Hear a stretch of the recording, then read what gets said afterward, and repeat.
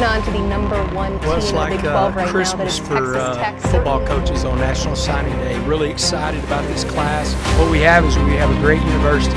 So it kind of tells you about the group that we just signed, how serious they are about being great, and uh, how serious they are and fired up to be Red Raiders.